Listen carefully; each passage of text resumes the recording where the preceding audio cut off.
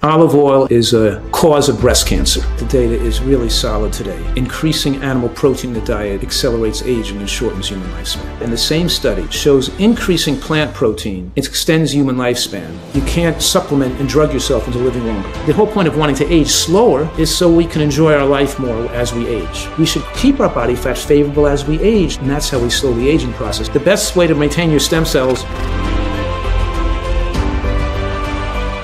last time we we spoke, you know, you, you mentioned that you you did have an injury, um, and then you know you want to take us through that journey. Uh, you know, brought you all the way up to today. You know, I was I was third in the world in pairs figure skating.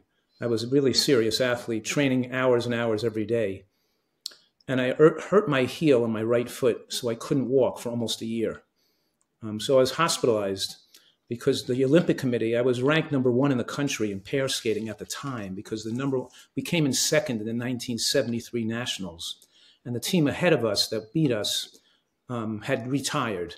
So we were number one ranked in the country at that point. And then I couldn't compete and get my I couldn't win the national championships. So I couldn't even walk hardly. I hurt my my foot so badly. What did you do? How did you hurt it? I hurt it landing incorrectly on triple jumps, trying for a heart for a triple jump, and my boot kind of like fell apart, and the, there was like a screw in the boot that split the fat pad um, under my heel, so I lost the, the, natural protective gristle and fat you have under the heel bone, the calcaneus.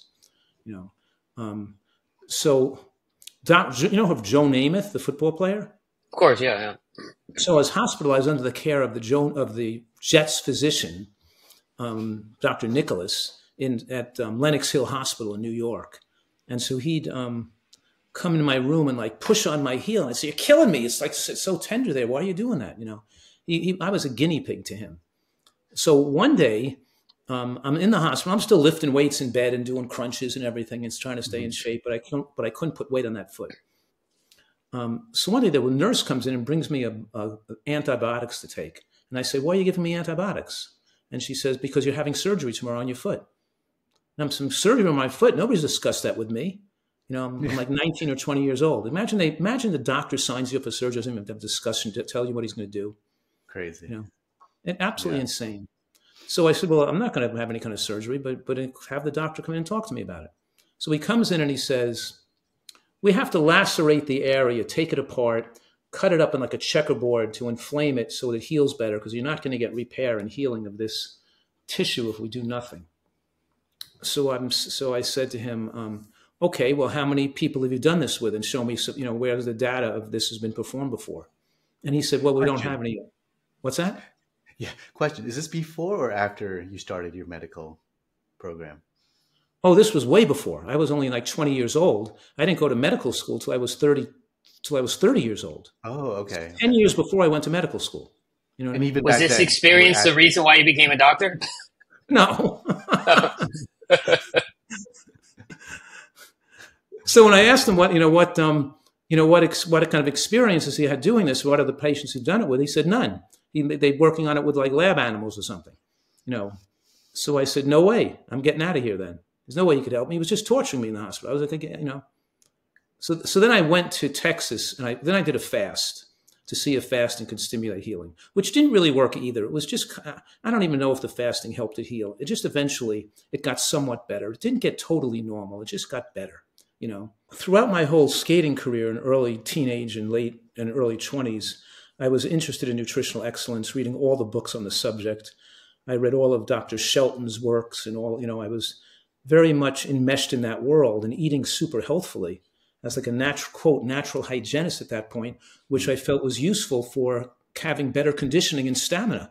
It's like Novak Djokovic. Why was he such a bad tennis? Not bad, but why was he not a top tennis player when he was 21 and 22 and 23? Because he didn't have the fitness to last five sets at a top major. He would poop out. And then he changed, improved his diet and he became more fit and his and he became where he can have more stamina. So I ate to improve my stamina and conditioning. So we were competing with the Russians, and they could just move on those programs for five minutes straight and keep flying at the end and never tire out. And we wanted to improve our stamina. So I was reading books and I was trying to improve my conditioning and stamina. It's all about you know being able to oxygenate and breathe and not get sick. So I've advised a lot of top professional and Olympic athletes. I've advised a lot of Olympic skiers, for example I talk about one person I advised is Erik Schlopy. He was on four Olympic Games in downhill skiing. He competed till he's 36 years old. Like Djokovic competes in tennis at age 36, he's just as, it's kind of special that he competed in the downhill racing through the Olympics for four Olympic Games till he was 36. You know what I mean? So we do it to maintain our youthful vigor and vitality longer and to have better conditioning. And the professional skiers would do it, and professional tennis players I advise doing this because they didn't want to get sick and get ill as frequently because one being in bed with a virus for four days could kill your could kill your career for the year too. You know.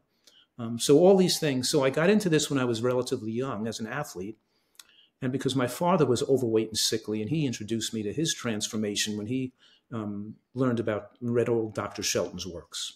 So I was already, um, so when I was working in my father's shoe business after I was weaning down on my skating career, I was thinking that my real passion lied in nutrition and being a physician specializing in nutrition. So I was contemplating and starting to take some courses to think about going back to medical school. But I hadn't had the right pre medical requirements because when I was in college as a figure skater, I was taking all business and economics courses and other things, and not I wasn't um, preparing myself with the idea of going to medical school. Yeah, so very different career path for sure. A real different career path. So I had to go back to the postgraduate pre med program at Columbia and get um, and get all my pre medical requirements. You know, and I, I actually had like given up on that idea. It seemed you know I hadn't had the right courses.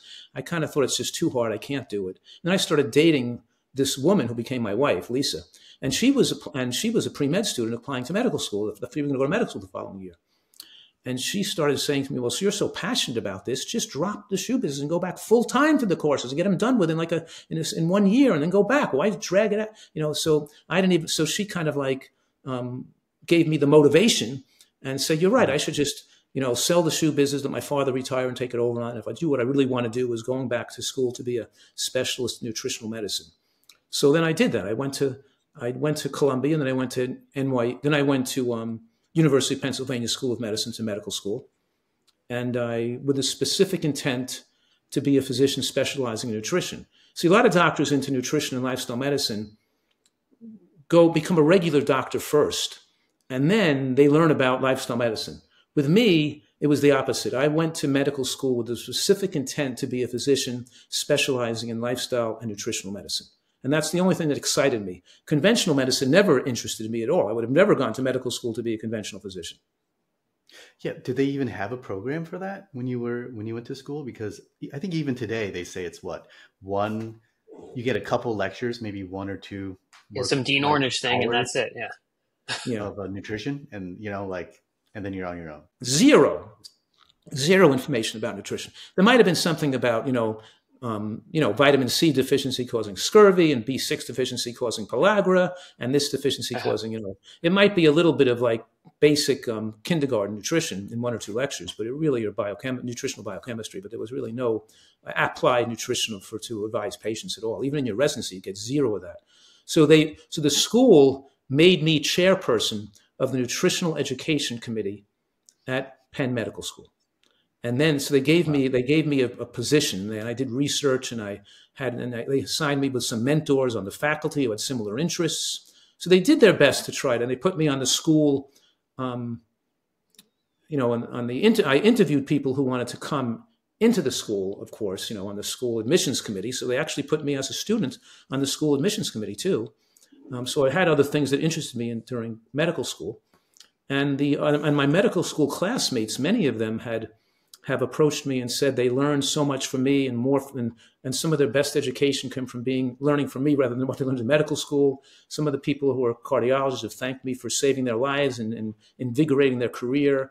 So i've got a lot of um, interest enthusiasm and reward from being um, from having my influence on other medical students and other physicians.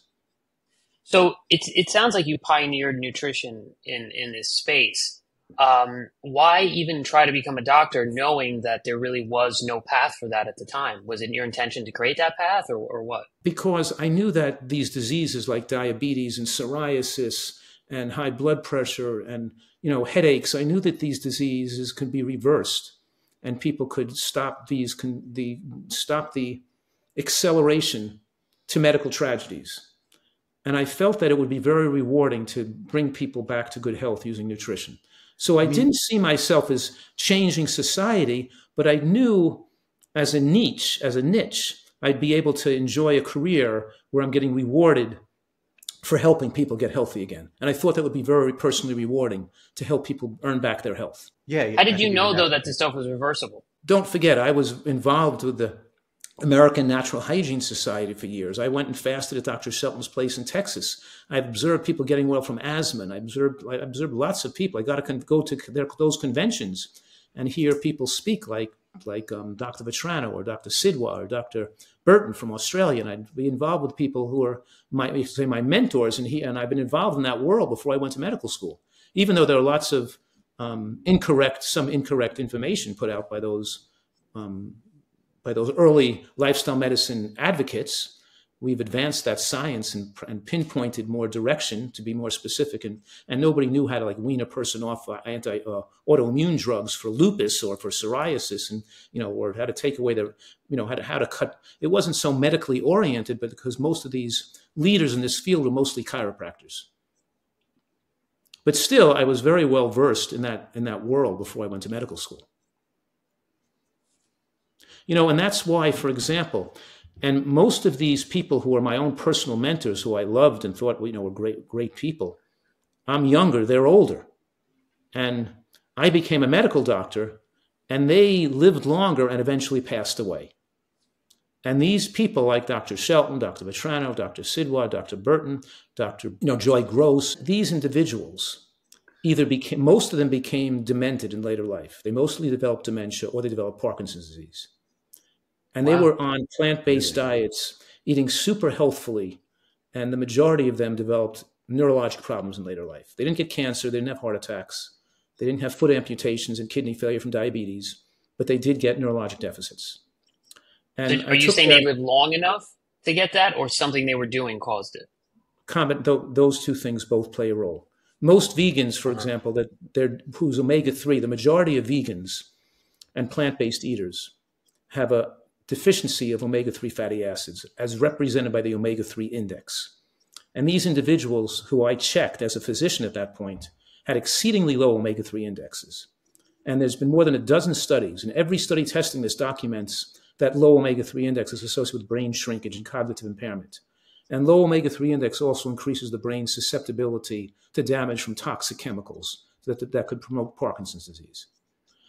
So I became very concerned about this am very interested in this, looking at all the studies and following this over the decades since I've since I've observed that. And I was also in my practice in New Jersey was one of the only physicians in the country taking care of vegan populations, plant-based eaters, including the American Vegan Society, which was an hour away, you know, which had those members, and the American Natural Hygiene Society were the early, um, you could say, early advocates or, or early um, adopters, early adopters of plant-based diets, of healthy plant-based diets. They weren't eating junk food plant-based diets. They weren't living on bread and, and rice and pasta and like, like, the, like the British vegans. They were eating super healthy diets that were based on fruits and vegetables, beans and nuts.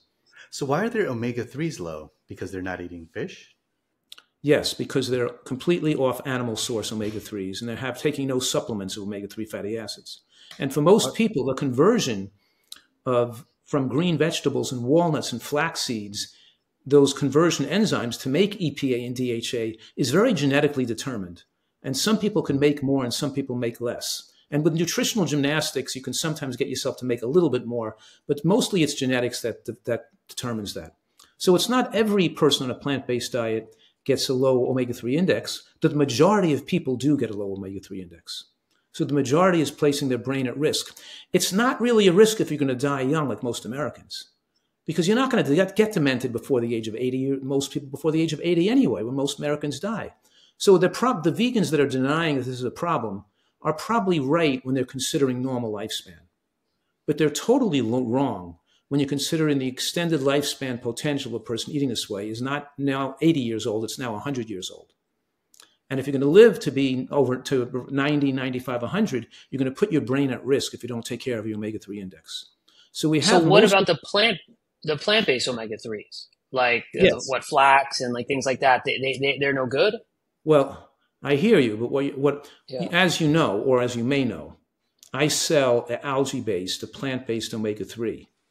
That's the reason why I got into making it and selling it was because we utilizing it with my patients and family many many years ago. It would taste rancid like gasoline, and a lot of people would yeah. feel it would say it tastes foul, and they have indigestion. Yes, spirulina is gross. I would have them analyzed to see the to see the rancidity score, and I found that both fish oils and the algae oils developed rancid in proportion to the months they stayed at room temperature. So we developed them. We had a, we had a, then I started to invest in how to have my own brand made so we could have it refrigerated in glass bottles and sent to us in refrigerated trucks and we can keep it from becoming rancid and use fresh oils. So that's how I got into that. Specifically so, to address the problem that vegans were having in later life from with neurologic deficits they were developing. So I had a huge and and then you know people are claiming, well, why don't you take more eat more flax seeds, eat more walnuts? Well, like I'm saying, even though those contain ALA, which is a short chain omega 3, which is an important thing to take in your diet, because ALA is very protective against cardiac arrhythmias.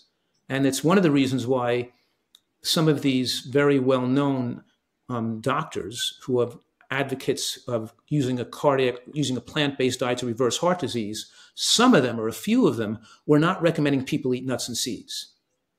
And I was very concerned about that because all the studies on the incorporation of nuts and seeds in plant-based populations showed longer lifespan, reduced heart and cardiovascular deaths in people utilizing nuts and seeds. And we found out the reasons now. We've seen the data now to show that ALA deficiencies, if you don't have enough ALA from nuts and seeds, it can increase the risk of cardiac arrhythmias like atrial fibrillation. So, and, and irregular heartbeat leading to sudden cardiac death. So there's definitely a mistake in there in the advocacy of make, making your diet extremely low, too low in fat. And it's the same thing with cancer. Let me just say this that the same diet that prevents cancer is best for a person who has cancer.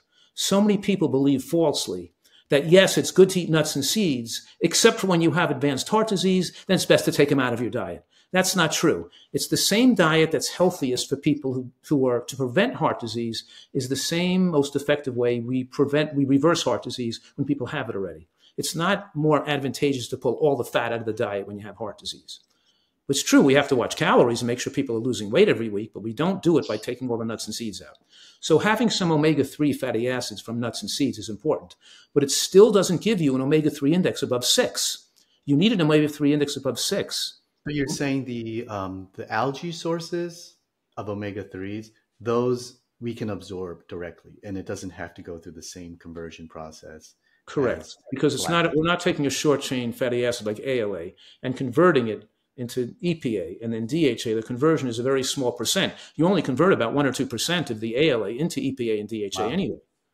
And if your conversion factor, so that and so we so you adjust this, what I recommend is we adjust the dose of the, the DHA to optimize the omega three index.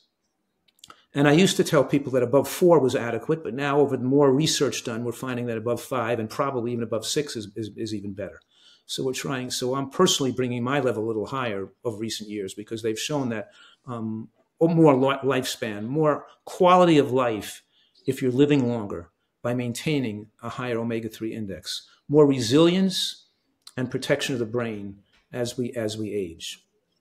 So you you know I've faced opposition and attacks on this against because there are some people that see a plant-based and vegan eating as such with such religious fervor that they see any kind of thing that's that's discussing maybe a, a weakness of a vegan diet as an attack against them and their philosophy and they try to discredit the source or try to say that oh here's a reason why this could cause that that's going to cause a problem if you take that and the and the reason they could sometimes do that and confuse people is because if you take too much fish oil, that could have negative effects. If you're taking like three to four grams of fish, and just because studies taking excessive amounts of fish oil is, is negative doesn't mean that allowing deficiencies is, is positive. So people get very confused. With almost any nutrient, there's a sweet spot, whereas too little or too much could be could be negative, could have a negative effect. You know, so yeah. we're trying to. Go ahead. I worked in pharmaceutical marketing for over ten years, Mm-hmm. And the one thing you can count on is if you have a stance, you can find data to back up that stance, no matter what it is. That's right. And so, what I love about you and the work that you do is you really do your best to look at all of the cumulative data and then right. synthesize that into a very, uh, you know, very clear uh, thesis, right? So, Um, what are your thoughts, since we're talking about vegan diet, what are your thoughts on vegan diet, what the data saying versus the carnivore diet, keto, all of these things that are going on? Um, what's the data telling us? I think that the data is really solid today that increasing animal protein in the diet accelerates aging and shortens human lifespan. And that's and, uh, dairy I, as well as the, the meat? Yes, I think that's pretty solid. However, it also, the same data in the same studies shows increasing plant protein extends human lifespan and that you can design design plant-based diets to be low in protein, too low in protein, to maximize human lifespan and, and to maximize um, quality of life, health span. So there are a lot of people in the plant-based community deny that a vegan diet can be low in protein. And I'm saying, well, you know, we have people, and I've had experience over the decades of taking care of people on predominantly fruitarian diets where they're not eating enough beans and nuts and grains and greens to get enough protein, they're eating maybe 80% or more of the diet from fruit. And they may survive, do pretty well in their you know 30s and 40s and 50s. But as we age and as our ability to assimilate protein goes down with aging, it leads to decreased immune function more fungal infections, more increase pneumonia, and infectious illnesses. And this is my observation over my 40 years of practice with people on those type of plant-based diets. So I'm also advocating people do pay attention to plant protein, but I but I'd like them to increase their protein with things like soybeans and flax seeds and hemp seeds and almonds and and beans and and you know and, and green vegetables and artichokes and asparagus and broccoli and you know they, our diet is very relatively high in protein because we're not using oil when people pour oil on their food, they're taking fat with no protein with it. But when you take the oil out and you replace it with nuts and seeds, you're taking your fat with protein at the same time. So to the extent you switch a nut and seed for an oil, then you're extracting protein from the diet. Did you follow me? In proportion. But aren't you mm-hmm. increasing your carbs though to to to too high of a rate at that point? Now you're talking about diabetes and things like that. No, we're having no refined carbs at all. We're eating no sugar, no maple syrup, no honey, no white flour where all of our carbs are coming from whole grains, intact whole grains, fresh fruit. It's all intracellular glucose. And here's the thing is that when you're eating animal products, the saturated fat distorts the shape and function of the insulin receptor. So now you respond more unfavorably to a mango or oatmeal. Because even now, even things that are relatively glycemically moderate, not excessively glycemic like white flour or white rice, even moderate glycemic foods, you react unfavorably because now your, your insulin receptors are distorted and made ineffective. They've developed insulin resistance, either because your body fat's too high or because you're consuming too much saturated fat from animal products. So these That's people on keto diets or carnivore diets, they say, look, I can't eat a mango because look at after my meal, my sugar goes to 300. Yeah, because your insulin receptor is destroyed from all the meat you're eating and all the coconut oil and stuff you're eating. You know, so us plant the animal protein that's destroying the insulin receptors, not all of the sugar. It's the animal products and the That's... animal and the saturated fat in animal products that particularly distorts wow. and weakens the insulin receptor. So now you don't respond normally when you have a normal insulin load, right?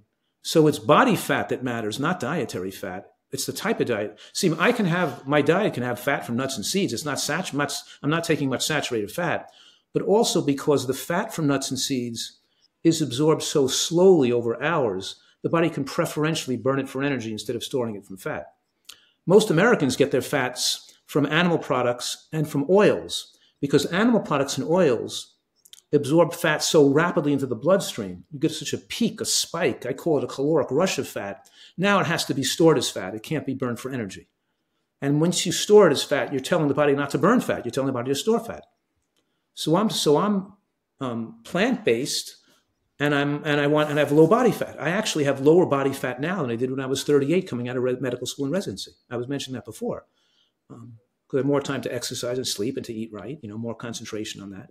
But I'm saying you shouldn't develop high blood pressure as you age, and you shouldn't develop increasing body fat as you age. We should keep our body fat favorable as we age to keep a low body fat, and that's how we slow the aging process, not by cutting out all the, the carbohydrate out of our diet. Wow. So we want because the, the, these carbohydrates we get from plants have protein mixed in them at the same time.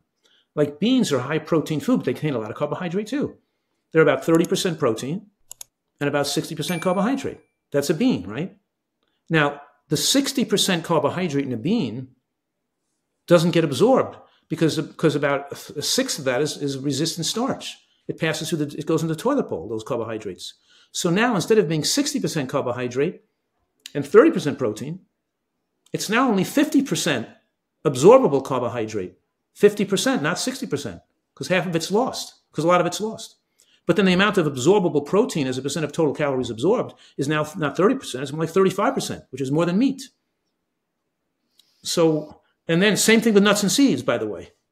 Nuts and seeds may have 10, 15% protein, but because all the fat is not biologically accessible, because the sterols and stanols pull the, in the nuts and seeds that bind fat, carry fat out into the toilet bowl.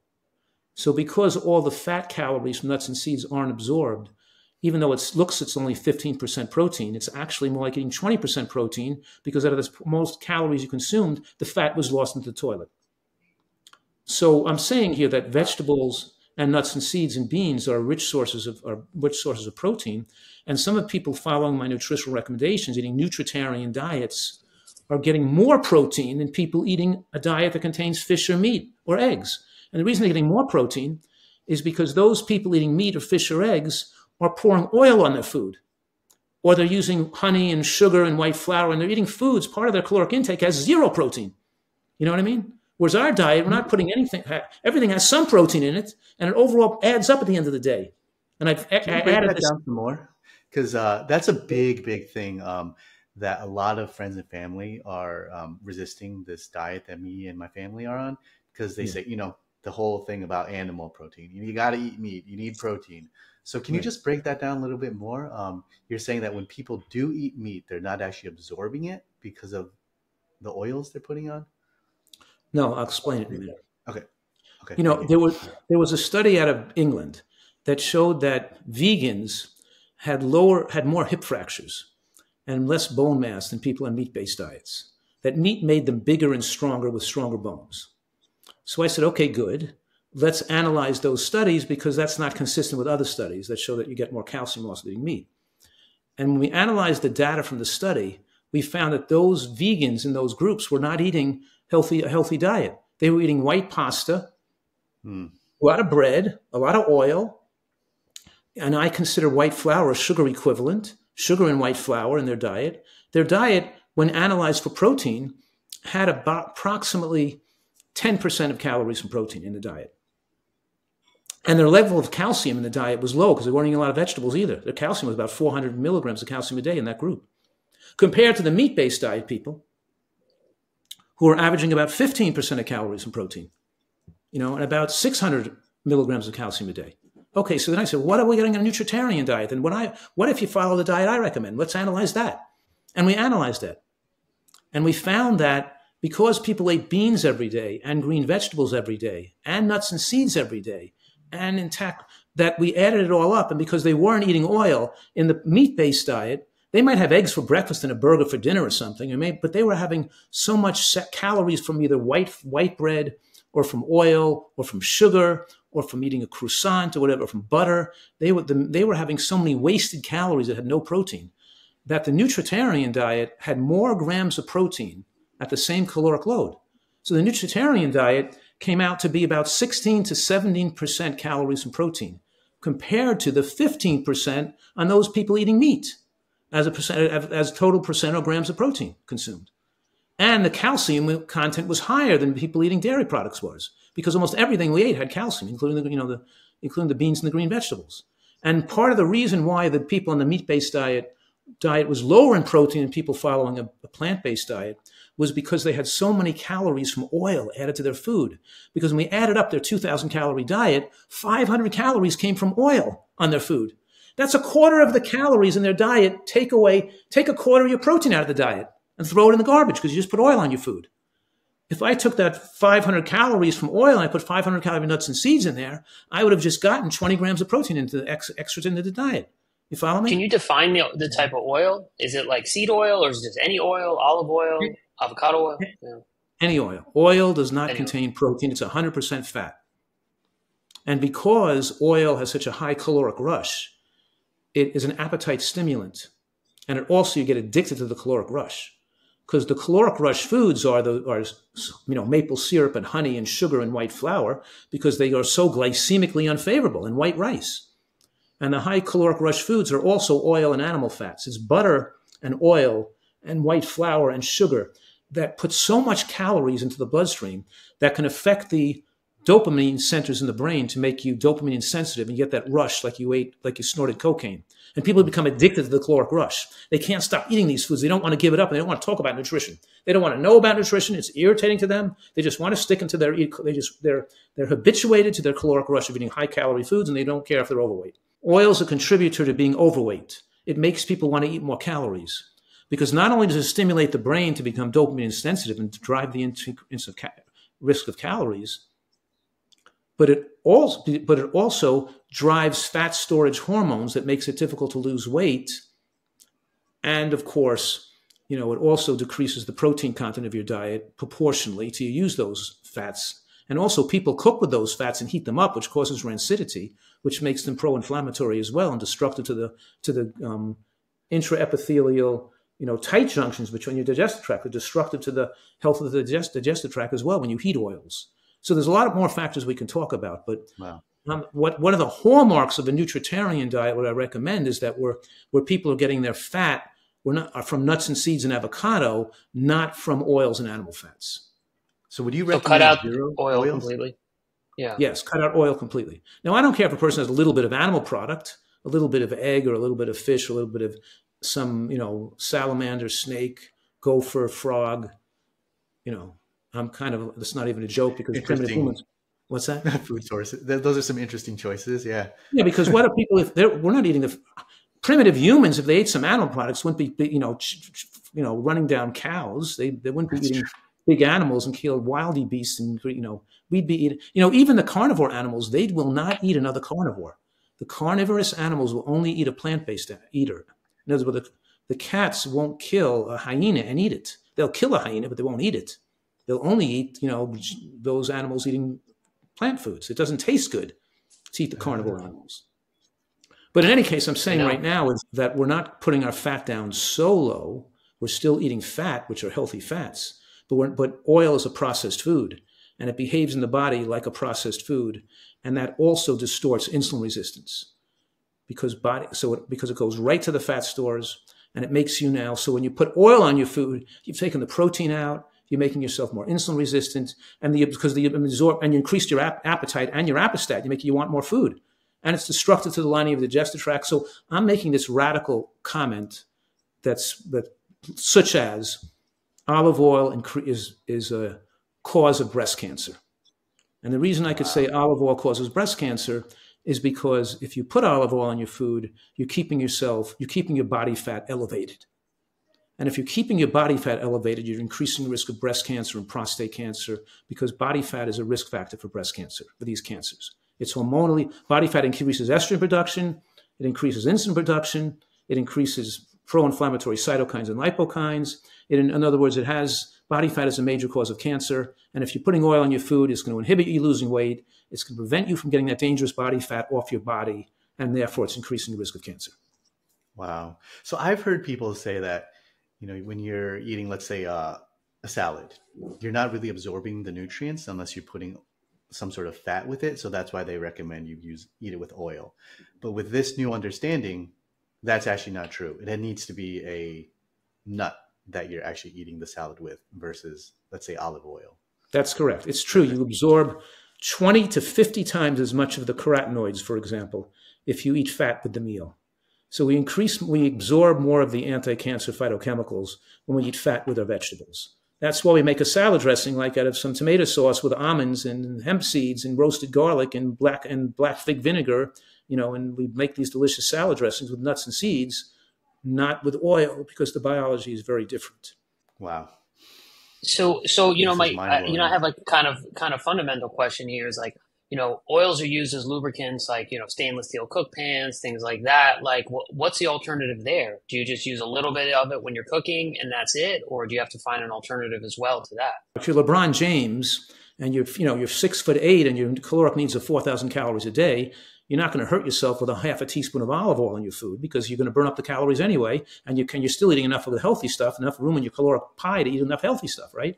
But if you're a person yeah. who's a you know a five foot two woman and you're eating two tablespoons of oil a day and putting 240 calories in your diet, for, and it comes out to be a you know a fifth of your caloric intake is oil you know what I mean? So we're talking here about a yeah. huge difference of a little bit of oil to a physical to a highly competitive athlete who's a high caloric requirement versus a little oil to a person who doesn't who's trying to restrict calories. But anyway, the the point is that yes, I don't cook with oil either. I, I water cook foods. I wok them in water or in tomato sauce or or or you know or pineapple or I'm walking them in apricot sauce or but whatever it is we're cooking or walking Thanks. Whatever it is we're walking or cooking them in, I can then add like a Thai curry sauce on top of that. Once it's once my broccoli and mushrooms and snow pea pods are cooked up together, I can just take a tablespoon of Thai curry sauce, mix it in there with has the you know the turmeric and the lemongrass and the date and the coconut. I'm mixing it in there, but I'm not cooking it in the fat. I'm adding the sauce on after it's cooked. Isn't oh. fat important uh, for our bodies?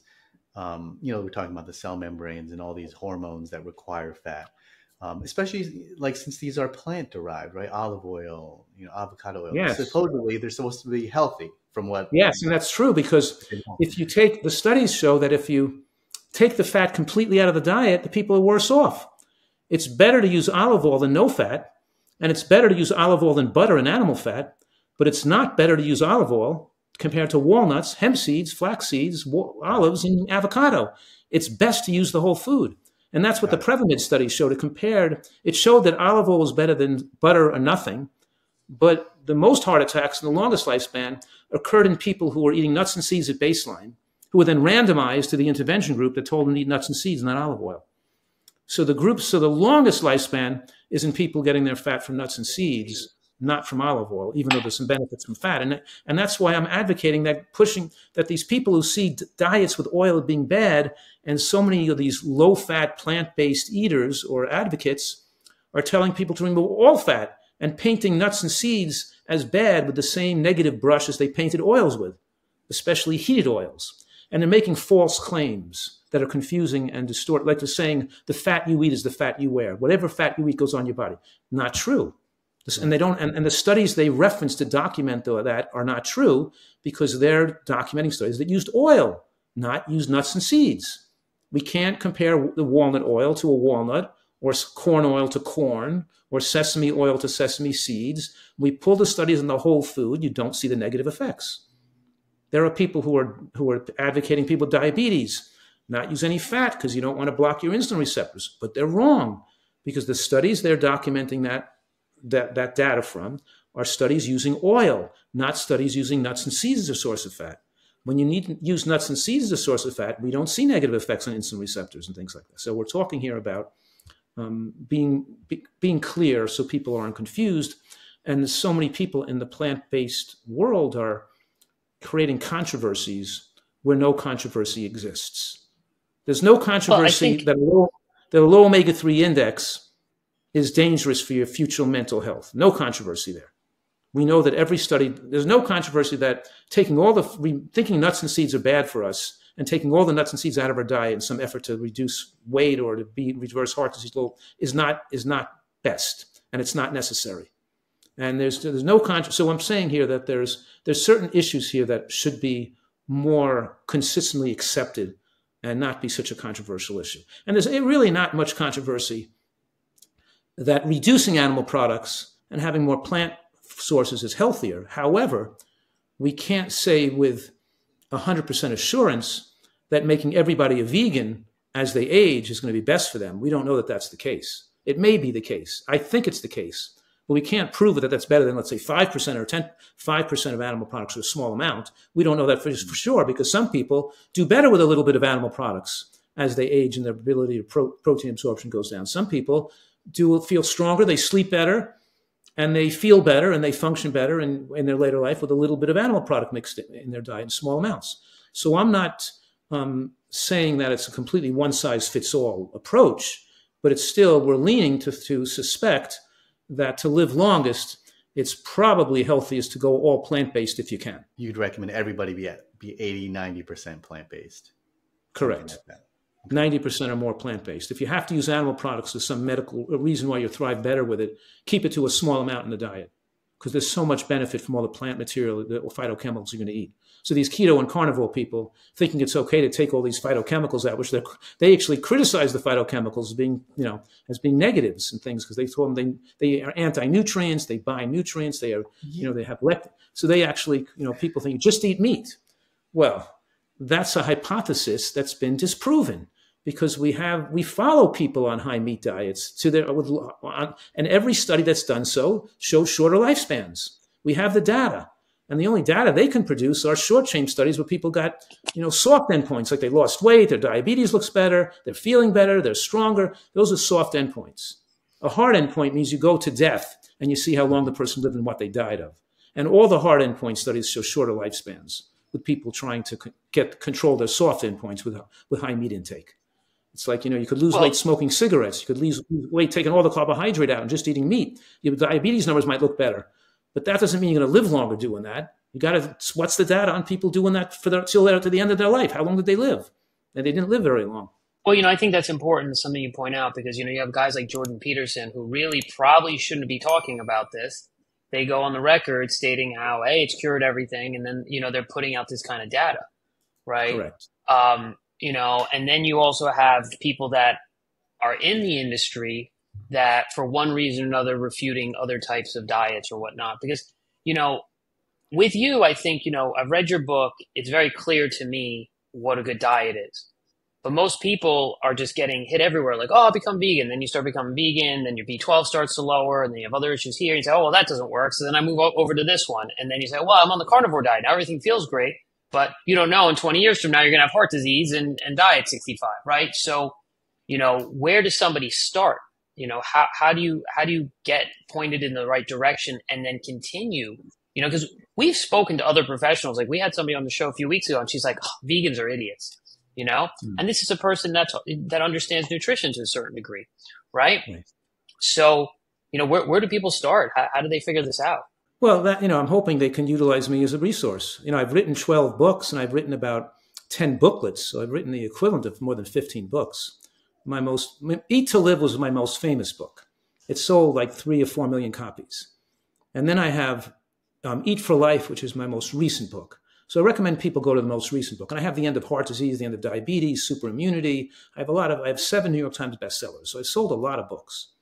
So some people are getting it and like my work, you know. But in any case, um, what I'm a good place to start is Eat for is my latest book, Eat for Life, and my most recent interests have to do with because um, a lot of people they know they should eat better, they know they should lose weight, they know they shouldn't eat junk food, but they can't do it because they're addicted to their their habits. And so a lot of my recent work has to do with getting people to be unaddicted and how do they get them to want to eat healthfully for the rest and stay with it for the rest of their life. And then I opened up a retreat here in California called the Eat to Live Retreat, where people can come and stay with me for a month or two or three to get rid of their food addictions, to get training, and to get the um, mindful and wisdom teachings to know how to like eating this way, making it taste great, enjoy your life more with eating food, with being different from other people. So it gives people the ability so to control their health destiny and almost guarantee a long life without mental disorders in later life. That's what I really want to I'm, I'm into. I really want to give people the ability to do it, to like it, and to live long without having fear of losing their, their minds and their memory. Yeah, there seems to be very, very deep subconscious, emotional, um, guilt based triggers yes. when it comes to eating, right? Um, and yeah, that's very sure. fascinating that you're you're kind of diving into the psychology of it. Can you share a little bit more about what you're finding when you're working with patients? How can we get over, get past those emotional things when it comes to eating. Because i know so many people that i have encouraged to get on a healthier diet but they just can't seem to you know mentally get over it. Yeah and they can't even consider it or they try it and they fail and they go you know that's exactly the point. Well people are you know all these little nuances we're talking about are important but for most people out there they don't even get close to the nuances because they can't even do the basics of eating right you know the basics yeah. of eating right is having a big salad every day, having a bowl of vegetable bean soup every day with mushrooms in it, having cooked that, you know, having having flax seeds and chia seeds every day, with having berries every day. You know, so we're talking about people can't, you know, don't take good care of their health and they eat in a self-destructive manner. and they're so they're they're food addicts. They're self they're they know it's unhealthy, but they do it anyway. And so I'm very yeah. much into that. And one thing you you know I can't go into everything, but one thing you have to have is that you have to be so content with yourself that you don't need the approval of others people. Because you know how in this country hmm. we're socialized to go after other people's approval. We want to get the most Facebook likes, want everybody to like us. We want our coworkers, our family, and our friends to think highly of us, and our egos feeling we're superior in some way to other people, and trying to, in our own minds, support that own degree of self superiority becomes a means of people building their own self esteem. But that's like smoking cigarettes or snorting cocaine for the, for, the, for the brain, just getting pleasure from thinking you're superior to other people. We have to get back to the basics here that every person is important we're not superior to other people. They have just as much right to happiness and love and peace as we do, and they all and that and our own self-esteem has to come from internally, from our ability to see other people fairly, to have compassion for them, to want to have goodwill for them, to want the best for other people, not just for ourselves. And when we give people that wisdom, where they feel better about themselves and the opportunities they have to have a good effect on other people, and we call it creative goodwill.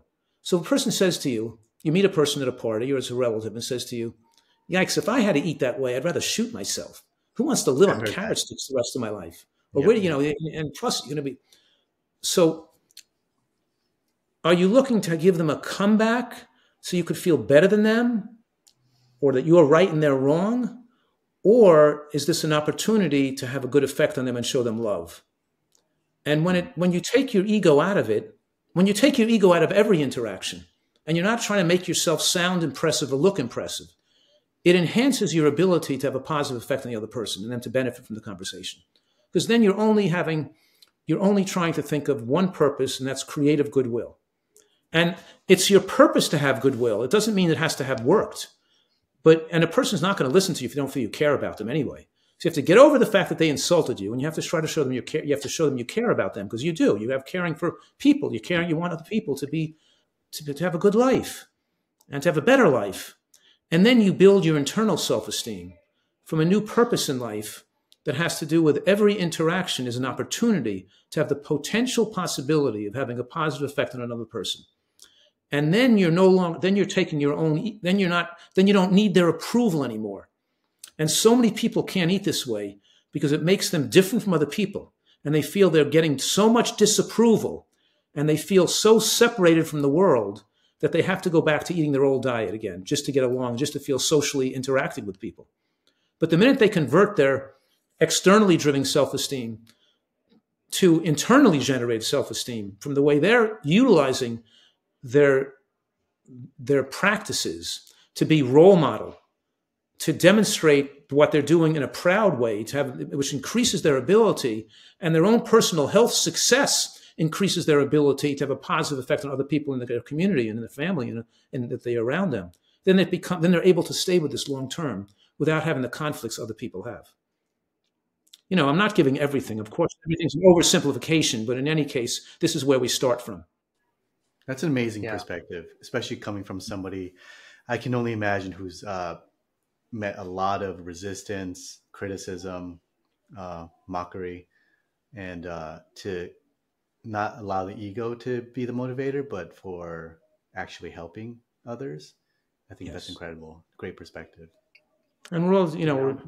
you know, we all want to, um, you know, we're all raised in with getting bad information, so we're not blaming anybody. They're socialized, they're educated, and they're informed wrong. So they have a they have a whole relearning process, re-education process of how to build health, but how to build happiness, how to feel peaceful in their own body, how to not be, you know, how to feel comfortable with themselves and, and like the world around them and have gratitude. All these things are important. And, and we have to learn it because people haven't learned how to do this, to take care of their own emotional health, you know, as well as their nutritional health it's huge. I mean, this is the basis of this channel, and this is why we, we're so fortunate and lucky to have you come on and spend a couple hours with us to help educate people and, and get that word out. Uh, because, you know, as ubiquitous as the internet is, like you said, um, I think it's, it is lacking in the delivery of this type of information on a wide scale basis. Yeah, which it kind of brings me to my next topic. You know, we are called anti aging tips. That's the name of our show. So, hmm.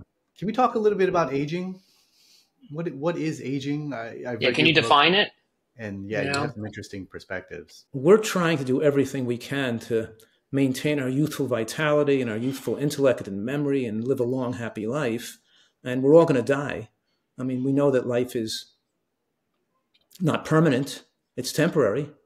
We just got to have the best quality life we can. And, and we're very blessed in most in this country to have you know not to have you know war affecting us and we have adequate food here and we have opportunity and we have the opportunity to be happy and to live a long life. And and nutritional excellence gives us an unprecedented opportunity in human history to live longer than ever before because we don't have this much nutritional science and data to help people. And and even the organic food movement our ancestors couldn't eat you know microgreens and sprouts and uh, 10 different varieties of organic mushrooms. I mean we have we could we could cater it and have access to blueberries to frozen wild blueberries in the wintertime and have green vegetables all year round and leafy salads i mean we've got an incredible, you know, we think about the macrobiotic idea of just eating rice in the wintertime and because those foods aren't available. But we've learned now that actually the access to fresh vegetables all year extends human lifespan and has an, has an anti-aging effect. It's a, it's a blessing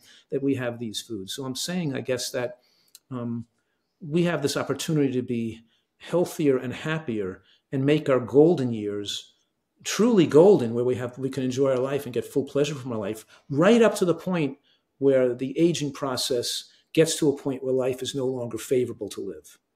And that's around, that's usually for most people around 100 years old, where the conventional Americans, their body starts to give out between 70 and 80. And if they're even if alive to 85, the last, you know, eight to 10 years of life, we're not living in a, we're not living well we're not enjoying lifespan. They're just going from doctor to doctor, pretty much suffering. So if you're living longer in America, people get the false impression because they think that, oh, I don't want to live to be 90, 95 because I know my aunt, she lived to be 95 and she was living in a nursing home for five years. And who wants to stick at being, I'd rather be dead than be in a nursing home. Yeah, me too. I'd rather be dead than be in a nursing home too. But I don't plan on being in a nursing home at 95. I plan on being, you know, being enjoying my life at 95. You know, so that's on the so, ski slopes. On the ski slopes, right. Is aging a disease? No, it's a natural process of the body that where cells have only so much cellular we only we can slow down cellular replication we can keep our we can maintain our stem cells we can maintain our telomeres through excellent nutrition. And we just did a study, it's not published yet, but we just got the data. We got the markers, the epigenetic markers, the telomere lengths, and the methylation defects, all these markers of aging compared to women who were eating a nutritarian diet for 10 years or more compared to women on the standard American diet. And we found that obviously much more um, these markers of aging and how and biological aging was of course much higher much better on people eating a nutritarian diet.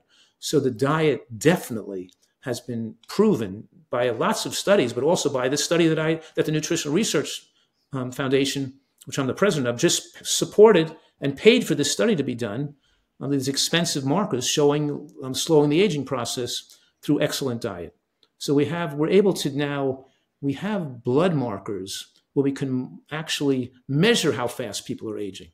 We can measure AGEs, advanced glycation end products. We can measure telomeres. We can measure epigenetic changes. We can measure methylation defects. We have a whole, and I just, to, and I bought this, we bought this kit from a company called TruAge, is where we got this expensive, full, very comprehensive blood um, blood markers of the, this aging parameters.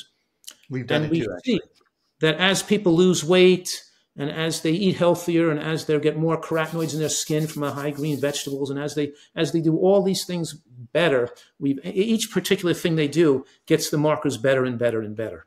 And the whole point is not just to um, the whole point of wanting to age slower is so we can enjoy our life more as we age right? The whole point is aging slower. I mean i don't care if i live to be 96 or 102 that's not going to concern me as much as being having my full mental faculties in the last two or three years of my life. I don't want to be living alive with, without my brain being, or, or be suffering and having to be in a, in a nursing home or something. I want to really, you know, it's, so it's, we want to live longer, but mostly really enjoy our life. And so you're saying the number one thing to treat aging, or I guess prevent aging, is diet. I mean, that's pretty powerful. Thinking, you know, I mean, you might say, what about technology or what about drugs or all these other things? Um, you're saying that it's actually diet that's driving. Yes. That's the main driver. Yeah. I'm saying that um, there's no such thing as a healthy overweight person. And you can't supplement and drug yourself into living longer. Taking metformin, you know, I do think taking NAD injections or IV has some beneficial effects on the aging phenomena, but not as much as staying slim and eating right food does. It's just a little extra thing you can do. And the only other thing that probably has a large effect is probably taking um, injections or not inje- of, um, of stem cells.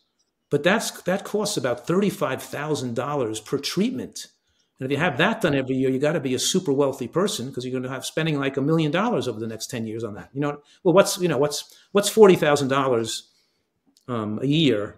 You know, to ten years is four hundred thousand dollars. If you do that for twenty, if you had stem cells every year, it that probably would extend lifespan, but that's going to cost you know um, you know, almost a million dollars over 20 years or something, whatever. People can't afford that anyway. You know what I mean? The best way to maintain your stem cells, instead of getting injected with young people's stem cells, would be to keep your own stem cells working well by eating right and not overeating, getting enough sleep at night, exercising regularly.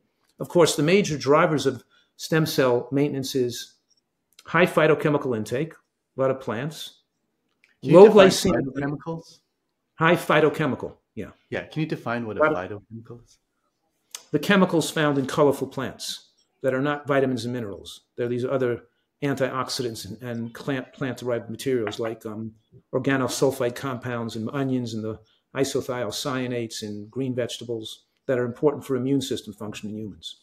So, high phytochemical intake, relatively low, moderate caloric intake, so you don't have low body fat percent, restriction of animal protein and restriction of so the two positive things are higher phytochemical intake exercise and low body fat.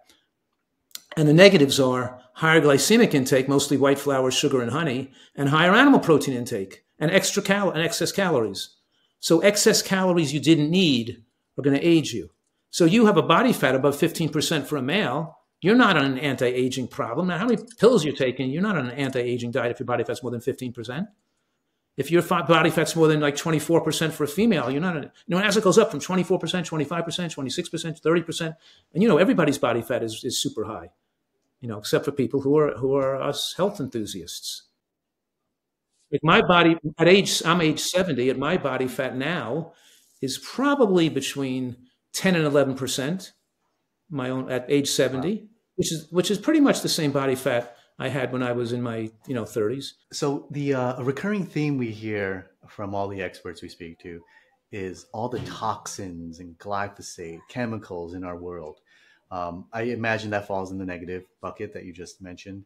So, how do we address those things? We address those things with the things I've already stated, because certainly I do advocate us people us eat organic, you know, eat organically and avoid chemical exposures. I mean, look at people, they're going to Starbucks and they're putting hot coffee into cardboard cups that are lined with plastic. And they're drinking down, you know, millions of particles of plastic every day. You know, I mean, obviously people are doing, they're just ignoring, doing everything that's bad. But when you have this new identity as a nutritarian, you know, I'm a nutritarian, that's my identity, then I'm trying to do all the right things for my protect my health. And that includes not drinking hot liquids out of plastic cups, you know what I mean, or whatever, just for an example you know, and we're and trying to eat organic as much as we can and and grow some of our own food if we can. I'm making my own. I'm making even making my own fertilizer because I don't want the fertilizer, commercial fertilizer with chicken manure that has arsenic in it on my food. You know, I even put good for. I'm even using oh, good, you know, better quality um, stuff on my. So yeah, I'm living a healthy life and trying to do the best we can. But it's the exposure to the healthy food that enables us body our body to remove carcinogens, detoxify, and prevent DNA damage from chemical exposure. So the fact that I'm living in a healthy manner and eating so healthfully is my defense against toxins, smoke, mm. chemicals, and plastics in our environment. Because the body is more is better able to defend itself against those risk factors when you're eating so healthfully. So, you know, I have a question for you, right? Because you know, I think this leads into chronic illness, right? And right. you know, again, what Daniel was saying, most of the experts we speak to saying that you know we're seeing a massive rise of chronic illness, chronic inflammation, you know, that wasn't in the past. And it's obviously introduced by these microplastics or this poor eating habits or the fertilizers, you know. And I know with like myself, I've had autoimmune disorders my whole life. When I switched over to a mostly vegan diet, um, it didn't cure everything, but it brought me to that 90% marker, right? But I still have about 10%. I've got a little bit of psoriasis in my arm. You know, sometimes my psoriatic arthritis bothers me. My colitis isn't always perfect. Um, you know, how do, how do we, you know, bridge that gap? well, know? with you, I mean, you, you need to really to um, take it to the next level. In other words, do you know your body fat percent, number one? And do you know your omega 3 index, number two? Because when you have a disease like psoriasis, you need a high omega 3 index with a low body fat. So you should at least know your numbers, you know? Okay. So, like, so do you, so what is your body fat? Do you know? I, it's somewhere under 10%. Really? Yeah, yeah. That's excellent. So, All right. Yeah, and, no, I'm not bad. I'm 5'8. I'm 128 pounds, you know, so, you know, I'm pretty lean in that sense. Great. And yeah. so you, I don't know what my omega is though, but I will test that for sure. Okay, test your omega 3 index. That would be the next step. So you're on the right track then. It's a healthy diet because we generally, when, like, let me give an example. A person has like lingering psoriasis, we put them on a fast and their psoriasis goes away. But if we refeed them and they start to gain weight back too much and eat too much food, their psoriasis starts to come back a little bit again. They have to be in that range. They have to eat so healthfully, but they have to make sure they don't overeat and get enough sleep because obviously even overeating a little bit can help their immune system be a little too excessive and the excessive supplying of the immune function you know and also of course so we're talking here about a tendency for autoimmune patients so most of our people with autoimmune disease make complete recoveries using these same basic principles for long life. How long of a fast are you talking about? What does that look like? Probably a, um, a water fast of one week would clear your psoriasis. But then the question is, um, what's the right diet to stick to after the fast so it doesn't come back again? You know what I mean? Mm-hmm. And that's why sometimes there's certain, and as you know, there's certain foods that can be more immunostimulating, like gluten or dairy products. There are sometimes people that can't eat certain foods. Even quinoa can be stimulating to some, too immunostimulating for some people because there's saponins in there. You know, so sometimes we have to make modifications to the, to the diet. For example, people with Crohn's disease can't eat nutritional yeast, and they can't eat quinoa and people with lupus can't eat alfalfa sprouts. So there's, sometimes there's some some further modifications we can make for these individuals who need their diet to be a little bit restricted. Now, now in regards to that, do you think there's anything still trapped in my body that needs to be like pulled out, like with through chelation or anything like that? No, I don't. Interesting. Well, Daniel, you're up next. Hmm. Yeah. Okay. Thanks for putting on your clinician hat. By the way, this is fun. Yeah. Um, so I've been, uh, yeah, uh, suffering with autoimmune disease most of my life um, very severe eczema, uh, chronic fatigue, narcoleptic, brain fog, very low energy. Anytime I would exercise, I would get sick the next day. It's just, um, and it still happens to me actually. We we were just in Vegas for a week, and we were walking ten miles a day, and then for whatever reason, I start to get sick, and then you know, mm. and, and, inflamed. Um, I myself have diagnosed it as the root cause, as uh, I'm curious your thoughts, as uh, mercury toxicity. Um, I recently discovered an amalgam filling.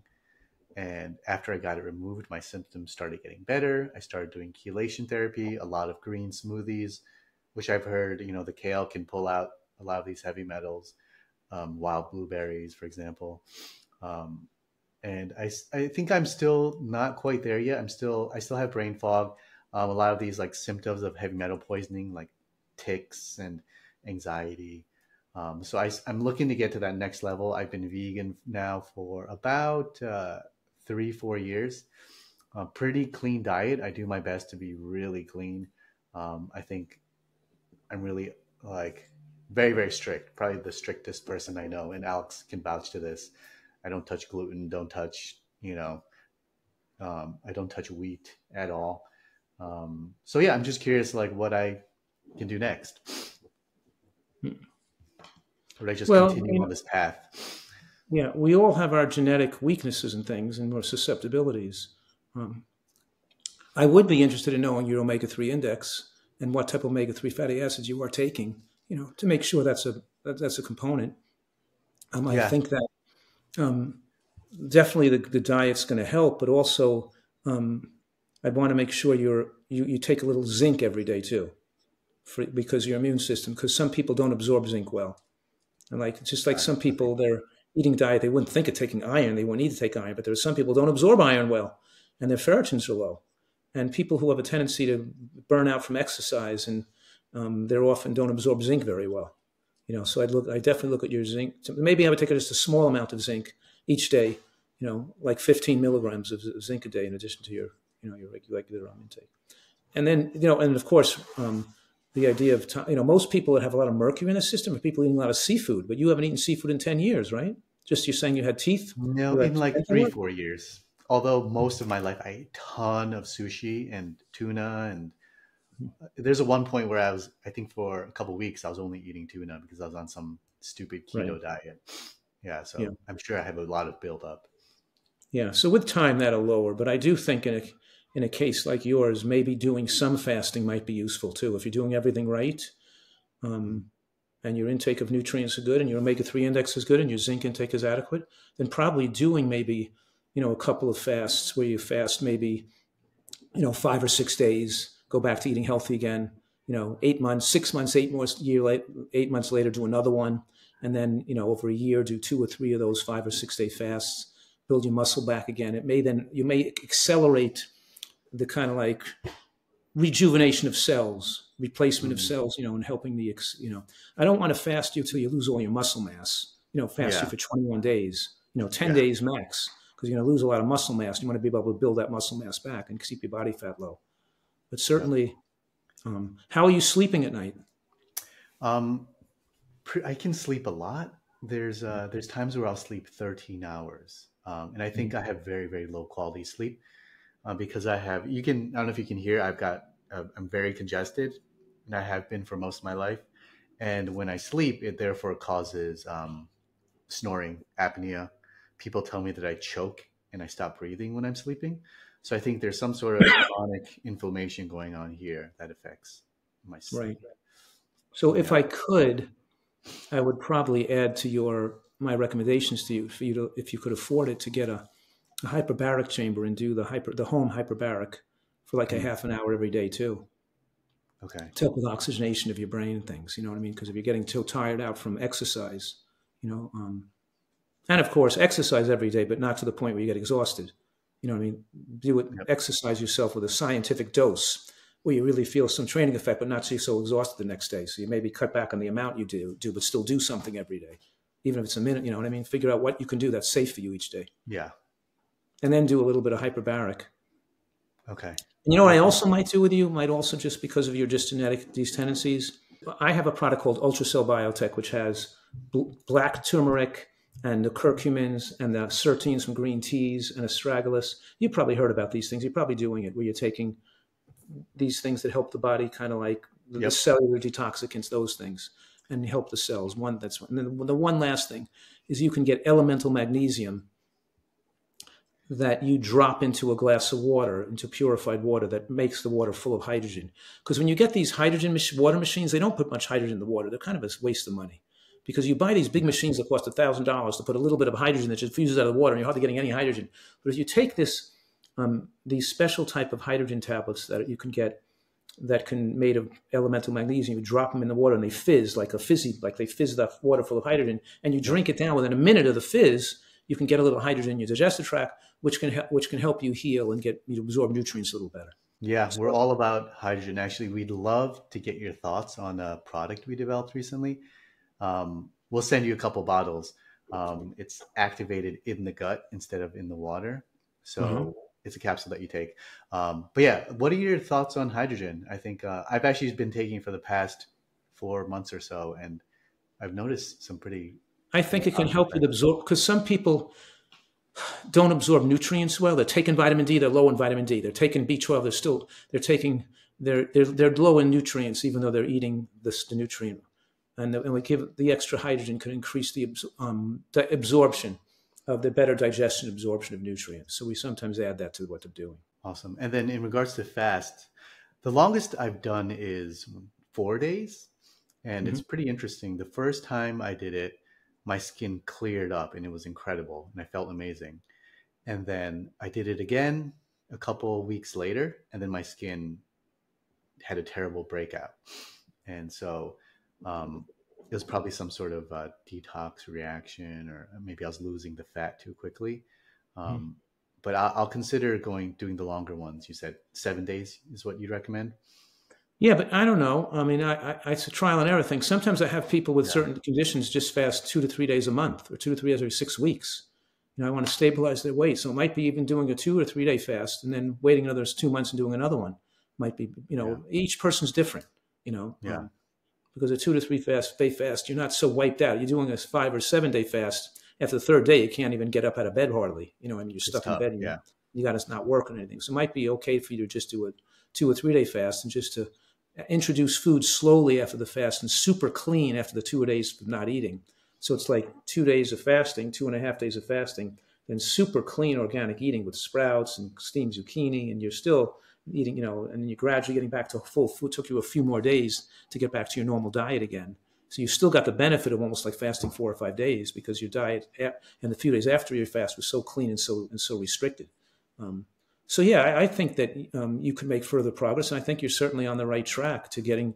You know, it's so interesting and funny and interesting that we can get people healthier as they get older because we did so many wrong things as we when we were younger, and it could take a few years to get back our health all the way as we got older. But we're going to, by the time, but we're going to get it right. You know, we're going to figure it out to make it right for us, and what's the best thing for us to, the healthiest way for us to live. You know, it's incredible. I can tell you, at 41, I feel better than I felt when I was 15.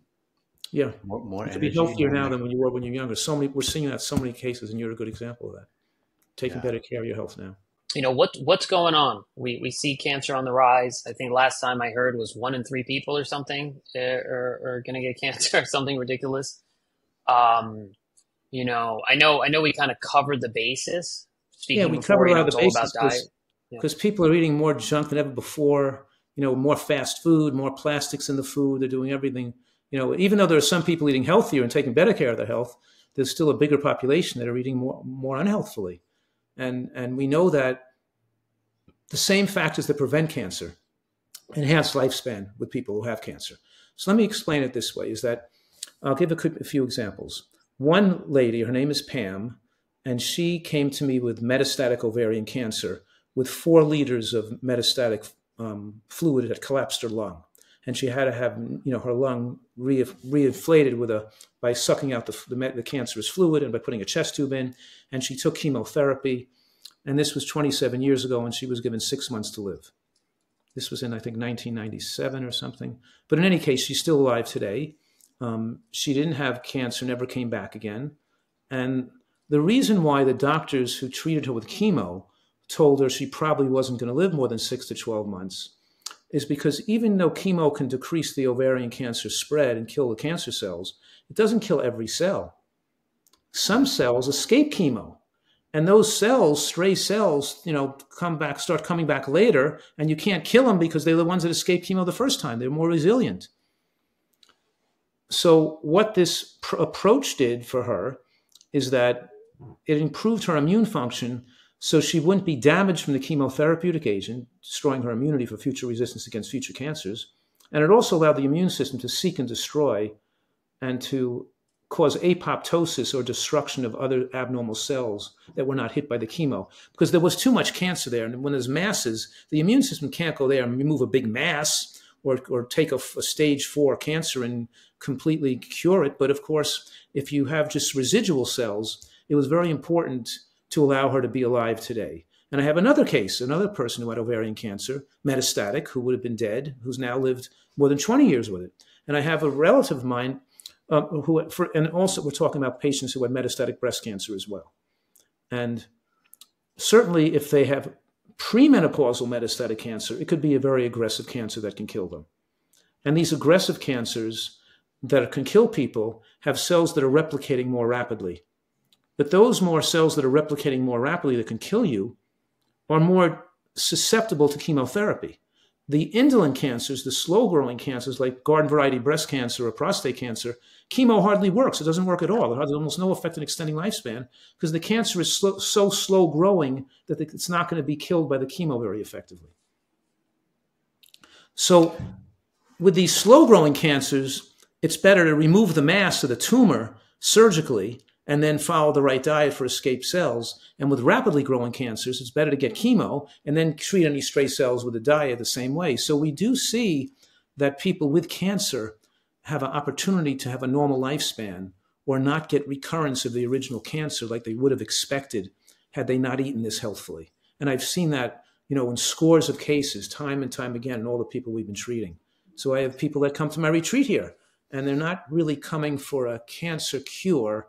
They're coming to prevent recurrence of their cancer from ever coming back again, for example. You know what I mean? Have you seen any cases where patients didn't require surgery or chemo? Yeah. Oh, yeah. I have a woman. Um, she just passed away, but she was close to 100 years old. She came to me. Um, you know, I think again it was it might be 20, 25 years ago, and she had um, non-Hodgkin's lymphoma, um, stage four, masses all over her body. She wow. just went on a diet. Wow. They all shrunk up and disappeared. And I've seen I have two of those cases already with the lymphoma cases that just disappeared when she followed the diet um, and never had a recurrence of it again. You know. Is there a reason why you didn't do the chemo at the time? Did, um, was she against it, or did you feel like it wasn't necessary? Um, we wanted to see. Oh, and I've had other cases where people who had, um, yeah, um, well, the the tumors in the masses were so. Um, in, we can we can feel them. They were so ex, they were external. The lymphoma we could actually feel it and measure it in her groin um, and in her neck. So when she was following the diet and they started to shrink, we just said, well, let's keep coming back every month. Let's keep measuring them. As long as they're shrinking, just keep going. You know, there was no point in because she was getting response almost right away from changing her diet. You know, and I have a lot of men with prostate cancer, which is easy to follow too. We won't do treatment with them or hormonal treatment or chemotherapy because we because their PSA is going down. So we can measure their PSA and free PSA, and the PSA velocity was going up. And I said, and even some of these men, I'm saying your PSA velocity is going up what don't even do a biopsy because we know it's prostate cancer. And even a negative biopsy isn't going to tell us it's not prostate cancer. And we don't want your PSA going up to that degree. Let's see if we can get your PSA to level off and come down, which we do. We see the PSA start to level and come down. So we see it start to coming down. So even the, you know, the, so I'm saying just assume you have cancer and let's get rid of it with the diet. Let's see if we, the body can attack it and get it back going in the other direction because it's easy to measure. It's harder to measure women with breast cancer. With prostate cancer, we have a blood test that can measure the direction of growth. With the breast cancer, we don't have such blood blood markers as easy to to monitor people with. I've got a couple um, random questions here. I'd love to just shoot over. In your opinion, what are the top worst foods that people can be eating? Fried foods and and donuts.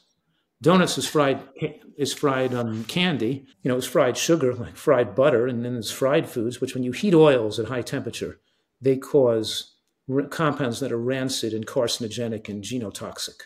So even if you work in a movie theater or work in a fast food restaurant, even inhaling the fumes from the from the fryers are dangerous to you.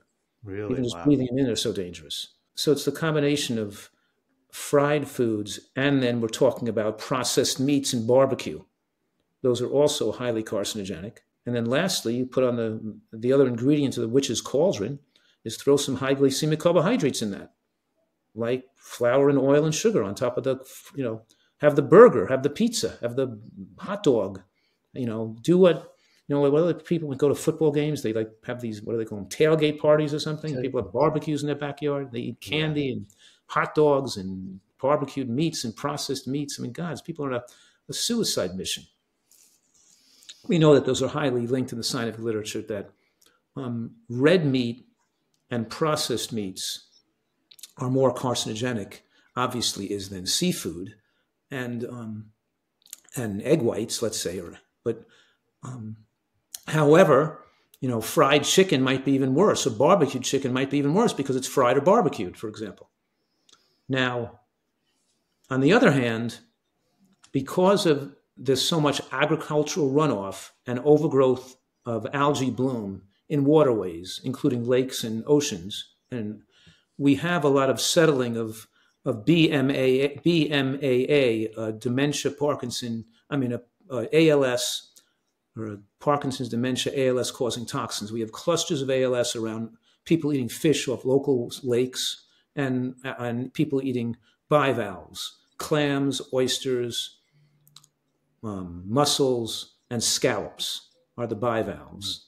And so it's the combination of bivalves and shellfish which the bottom feeders that concentrate the BMAA that can cause Parkinson's or or um, ALS.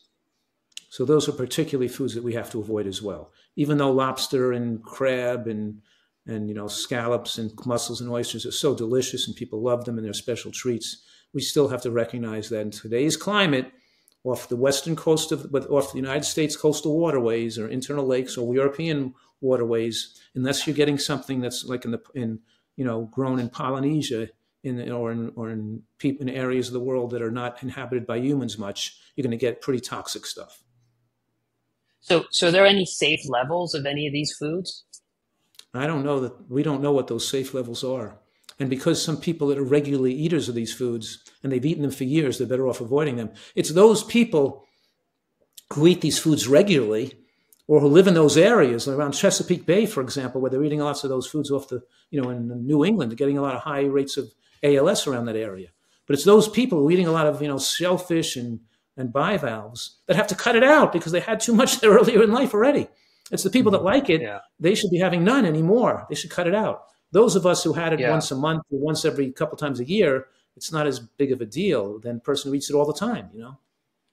Yeah, yeah. No, I understand, but you know, like with sugar, they always say, with sugar, there's okay. no safe level of sugar. Like zero is where you should be, you know? Um, so are these foods where you're saying, yeah, this is zero net sum kind of thing, or yeah, once a month you're okay with it? I, I don't think we have enough information for me to say something like that. I, I okay. For me, it's always safe not to have any if I'm no, if it's going to be a dangerous food. Yeah. For example, it's probably okay to smoke cigarettes one day a month. Have like ten cigarettes a day on that day a month. You know, it's not going to kill me. It's only one day a month I smoke.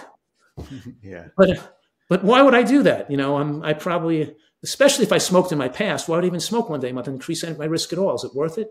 You know, I, I, yeah. I don't really, I don't have to have that stuff.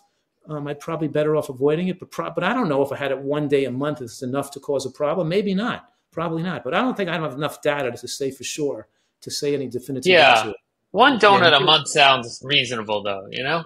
Yeah, yeah right. And if you're asking the problem with the one donut a month or one crab a month or something, here's the problem with it, because it, it start having it regularly, you like it more and it makes you more addicted to it. And then people want more of it. Yeah. And you have that. Yeah. The reason why I want people on no junk food is because when they have a little junk food, they want more of it. They don't lose their attraction to it. And they're always in this war of whether they should have it or not. But once they stop having it, they lose thinking, they don't think about it. It goes away. And they're not, they're not desirous of it anymore, you know? Yeah. No, I, I appreciate that. Things off like cold turkey, it's a lot easier than to wean off of things. Yes, very. You draw a hard line and you don't cross it, and there's no confusion. Absolutely. Well, there's also the other thing of like one drink a month, you know, one donut a month, one cigarette a month, and then you you know then you have 30 days of one of each, you know, and that moderation goes out the window. So I, exactly. yeah, I, could, I some people like you and I could probably do that. I could probably have one serving of seafood a month, and that wouldn't bother me. But for another, or one serving of anything a month, but for yeah. other people that I take care of, who are my clients and patients, if they start doing that, they they have such a history of addiction that it triggers them to want more of that food. It's like the alcoholic thinking they can drink on the weekends or one night a week. They just want more alcohol. Yeah. So it's an individual thing. Some people can't do that because it makes them want more of it, and other people can. You know. Um, and you know the the thing too is is you know what we we work very hard to push on this show is is like you know start off while you're healthy, where you know where most people are starting when they're sick right? Yes. Which which makes life so much harder. Like like I've never drank alcohol my entire life, right? And when I meet people, first question I have, "Oh, are you recovering alcoholic?" I say, "No, I never drank it." And they're like, "Wow, that's amazing." And I was like, "I've never had it. I don't crave it. I I don't think it's a big deal." You know? But, you know, I never I never walked down that path. Whereas something for like sugar, let's say, or you know, pizza, this and that, I had it, right? So that was something I had to break. Um, you know, and you know, Daniel and I have been real sick our whole life, and that's why we're here. I think if we were healthy, we'd probably be more unhealthy. You know, we'd be getting unhealthier as time went on, and then when we had cancer, then come calling you. You know, so yeah, and that's the good point. Is that many people, you know, I've eaten this way my whole life, and I've never a lot of my life, and I've never gotten into alcohol. I never had a cup of coffee in my life. I've never done that stuff. But like you like you're saying, if you had that stuff when you were young and you have some medical condition, why have anything that might self sabotage you getting well? You know, just have just live healthfully and learn to enjoy it and enjoy your good health. There's no reason you should. There's no um, emotional reason or anything that benefits you to self sabotage yourself to recreate with food because the pleasure you get from recreating with food like that lasts five seconds and then you're just feeling miserable for it the rest of the month. You know, and and and also we see that people they have one corn muffin and one you know serving of French fries. They do, and then they don't lose weight the whole week. It blows. Even they it stops mm. their progress. They don't and they don't get better. It stops their progress because you have to build up that health you know the, the health resilience and it takes and it takes time of the with the diet change to really build back excellent health again and they sabotage it even with some even those occasional cheats yeah those are all great points i'm glad you brought them up because you know this is why you know because you fight the, the cheating with people all the time you explain to them that really there there is no safe line um, yeah. and you know it's interesting for sure you know the the other the other major thing that i that i love about you is that you know, you you give real world solutions. You're, you know, I've I've seen your channel. You know, you're always like making a breakfast bowl, or you're showing people like real world, you know, application of how to be healthy. Um, and I think that's another like groundbreaking thing because everyone can say like, well, don't do this, don't do that, you know, and then people are sitting there like, what do I do? And I know you have cookbooks and things like that. So I think that's really important as well. Is like you know supporting all this data with a real, real world life like you have the your location or you know some some type of guide um, mm. to you know to that nutritional journey. Well, thank you for that. Yeah. So for people getting started, what do you recommend as like uh, maybe best way to get started? The top foods with the best bang for your buck, easy to prepare. What what have you found has been like good entry points? Yeah. Well, I, I, do recommend, you know, that even when I wrote Eat to Live back in 2004 or 2003, I said, don't start the diet and don't even look at the recipes until you read the book first. You know, get the information first before you start trying to make, follow it. Because if you don't, if you start following it before you know what you're supposed to learn enough, you're not going to, you're not going to be motivated to stick with it. You got to really know the reasons why you're doing this first. So I do recommend reading is the place to start. You know, listen, read, learn, and you know, I do make these um, T20 little booklets that are very inexpensive that people put like a, you know, 20 days of menus for if you have a high blood pressure, how to lower your blood pressure, reverse your cholesterol, or 20 days of menus for a person reversing diabetes. I have all these things made for people. But the place to start is lunch, is to make the lunch really simple and have their lunch be a large salad with different ingredients in it and a nut and seed based dressing, a bowl of vegetable bean soup with mushrooms in it, and a piece of fruit for dessert. If they get that lunch down, everything, that's half the battle. 50%, 60% of what they're doing, if they could fix their lunch, they're on the way. And that's lunch. And we want people to have a big salad every day, at least one. So why not just have it for lunch? The big salad, nut and seed based dressing, and put in the lettuce and the arugula and the onion and the tomatoes. And don't forget that lettuce is a superfood.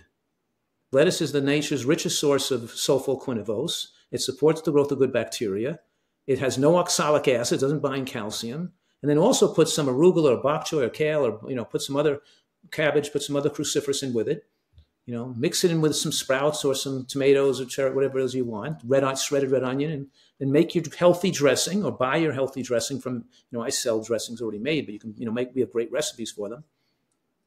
And then once a week, make or once or twice a week, make a big bowl of healthy soup and have a bowl of healthy soup. So soup, salad, and a piece of fruit. If that's your lunch, you got sixty percent of this done already. Wow. What are your thoughts on smoothies? I think they're okay, but I don't want people to have the smoothie instead of chewing a salad. It could be in addition to their salad. They can have the smoothie for breakfast and the salad for lunch. And the smoothie shouldn't have too much fruit in it. It should mostly have lower sugar fruit like berry or pomegranate. And it should have green vegetables and seeds in it.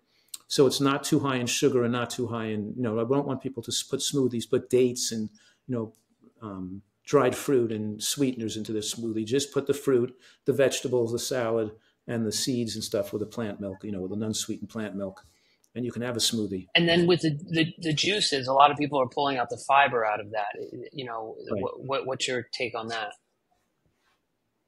Well, I don't want them to be drinking fruit juices, but they can drink like we, we make a juice for people that has, and we serve it like three times a week, where it has one third um, carrot or beet for the flavor, and it has one third lettuce or celery or cucumber, and then one third cruciferous, mostly bok choy, because bok choy is a green cruciferous that has very has enough fluid in it. It's worth juicing because you can get a lot of fluid out of it. So we have one third bok choy, one third carrot and celery, one third carrot and beet for flavor and for carotenoids, and one third of, of something we're talking about benign like lettuce, celery, um, cucumber, and we give them that kind of a juice.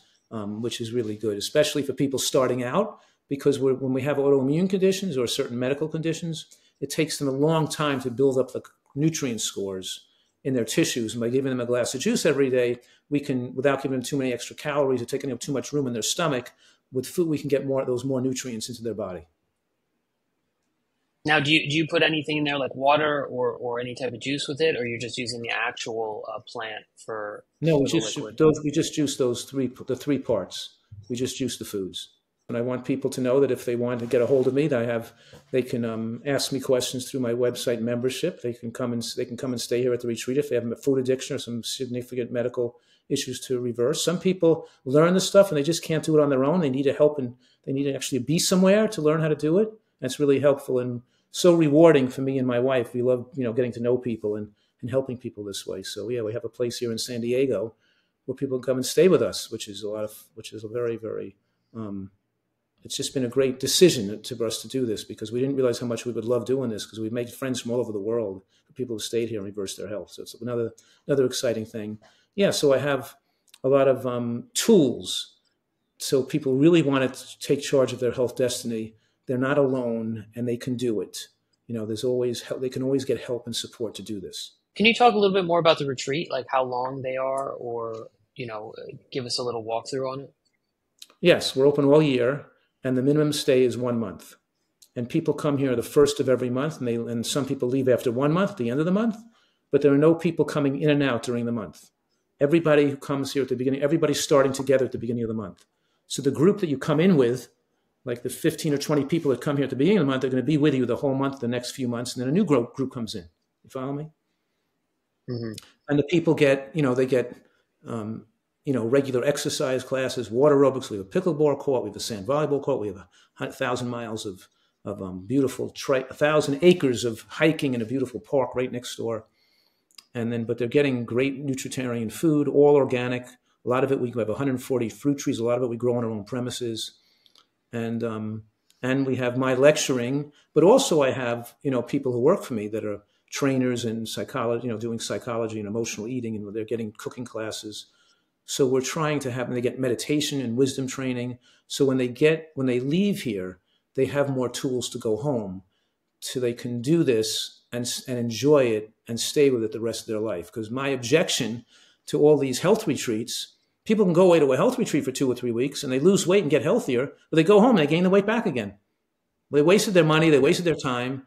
And even though it's an investment in time and money, when people leave here, they're not going to they're going to learn how to really live this way and that's why we encourage long-term stays because i found from the experience over the decade over the last few decades is that too many people fall off they these they come for a week or come for a weekend and they would and they wouldn't stick with it and we really need to spend the time of abstinence from the addictive triggers and the training they need over to really make sure they can stick with this and really enjoy it for the rest of their lives. So that's why I do it this way. So open all year. long term results. Yes, incredible long term results. And some people need to, to get rid of certain conditions. They need to be here a, a while. And when people have stayed more than some people stayed more than three months even. You know, when you go to a cocaine rehab center, you have to stay there for three months before they let you out because it's we know through it takes time for people to treat to get rid of their um, addictive attraction to those substances that stimulate the brain. So, yeah. uh, so a two month stay is is reasonable, and uh, you know, and, and, and we're really um, intent on making the time that the person's here, they're getting adequate training and learning while they're here, which you can't push into their head in just a week. It's very hard to get them to change the way they see the world in a week and change their taste well, preferences too. You know. Well, it's interesting that you make a reference to cocaine because I mean we all know like sugar and like you know caffeine and all these other things are as highly addictive or even more addictive than these drugs, right? So right. how do you expect to go there for even like you said a month and and retrain 30 years of improper, you know, programming? Right? Um, exactly and if you right. if you yeah, and if you have actual, you know, like ailments like cancer things like that, you need to you need to turn it around. Now, when when you're at the retreat, um, do you have is it a regular day where you know it's it's eight hours worth of this type of stuff, or are you breaking it up in a sense where you have a few hours to get work done, or you know have your own leisure time, or you know how, how does that look? Yes, people have have work. Sometimes they're working. They're working off site. Yeah, they're working. You know, so they come here. Certainly, they may have a. They were eating breakfast together at eight o'clock in the morning. Some people going out for a walk before breakfast they may have an uh, they may have a ten o'clock a ten thirty you know water aerobics class or ten thirty balance training or exercise class, and then then they may have a cooking then they may have a cooking class at two o'clock in the afternoon or something they have to go to. And some people may get out in the pool, or may out and do things and do on their own, but a lot of people are just you know might could do whatever they want. But there's certainly maybe maybe they're having my lectures on 8.30 sunday morning or thursday evening after dinner. They have to there's certain things they have to attend the emotional eating um, training they have to attend but other things are optional. They don't even have to attend every cooking class. That's optional you know what i mean? But yeah. but certain classes are absolutely essential. They, they participate in. So if i go do i get to ski with you too? Or is it only on the premises that, that we hang out? Can, i'm going to be looking forward to skiing together. That'd be great. Anytime anywhere. All right awesome. okay very cool. All right. Good talking to you guys. This was incredible. Yeah. Thank you so much. Dr. My pleasure. Thanks so much. Appreciate your time.